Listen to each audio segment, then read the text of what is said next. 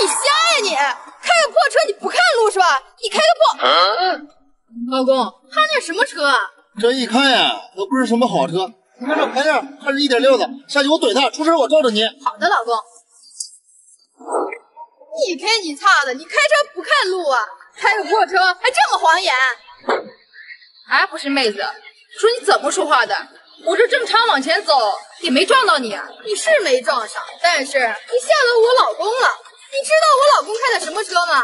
特斯拉 Model 三，见过吗你？不是妹子，我看你也是从这个园区里边出来的，大家都是做生意的，你说话也没有必要这么难听吧？你少一口一个妹子一个妹子的，跟谁攀亲戚呢？想让我好好说话也行啊，去去我老公跟前磕个头道个歉，我就跟你好好说话。亲爱的，怎么回事？这点小事都处理不好啊？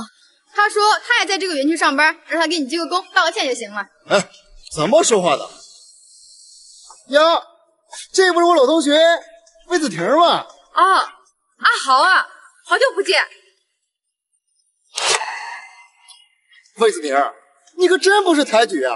我这开特斯拉的手也是你想握，都是握的。阿豪，我知道你，你是来这个园区里谈合作的吧？你不该打听的，别打听。亲爱的，走。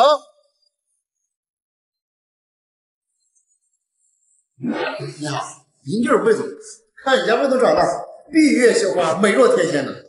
我不是魏总，我也是来谈合作的。不是啊，那你长得可真是奇丑无比，不堪入目啊！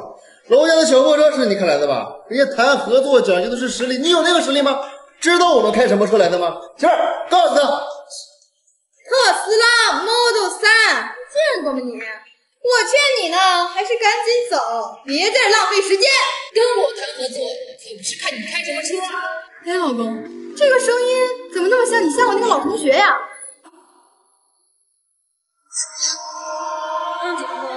魏总，坐。是魏总。老同学，原来您就是董事长呀！今天下午的事给您开玩笑的。来，先看一下。行。你也是过来谈合作的吧？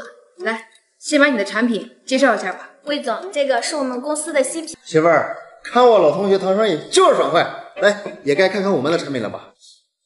我看今天的时间呢也不早了，产品呀我就不看了。你们二位先请回吧。哎，不是，怎么到我们这儿你就没时间了？啊，该不会是因为今天下午那件事吧？